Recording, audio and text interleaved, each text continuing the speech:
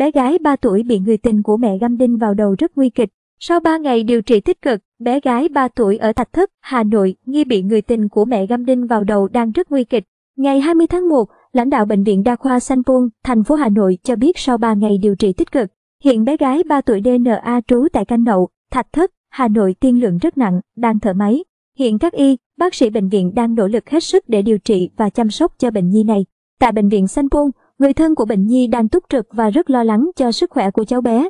Bác sĩ thông báo chưa tiên lượng được điều gì nhưng khả năng trường hợp xấu nhất có thể xảy ra.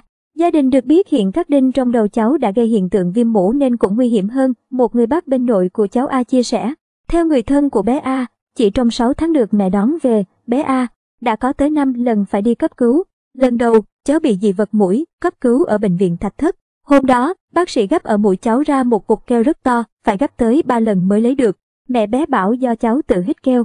Khoảng 2 tuần từ bệnh viện về nhà cháu lại bị ngộ độc thuốc trừ sâu, đưa vào bệnh viện Thạch Thất, sau đó chuyển lên bệnh viện Nhi Trung ương.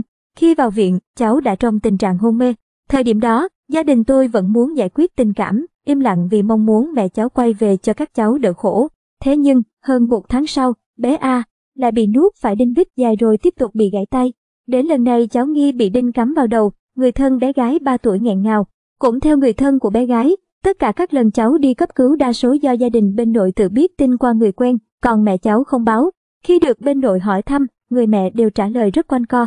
Tất cả những lần bé A nhập viện, ông nội đều là người trực tiếp ở viện chăm cháu, sau đó đưa cháu về nội chăm sóc một thời gian, đến khi khỏe mạnh trở lại mới cho mẹ cháu đón.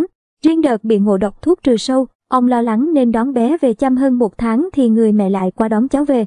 Trước diễn biến phức tạp của vụ việc, Phòng Cảnh sát Hình sự Công an thành phố Hà Nội đã tiếp nhận hồ sơ của vụ việc. Lãnh đạo Công an Hà Nội cho biết đơn vị đã ra quyết định khởi tố bị can, lệnh bắt tạm giam đối với Nguyễn Trung Huyên, 30 tuổi, ở huyện Thạch Thất, Hà Nội về tội giết người.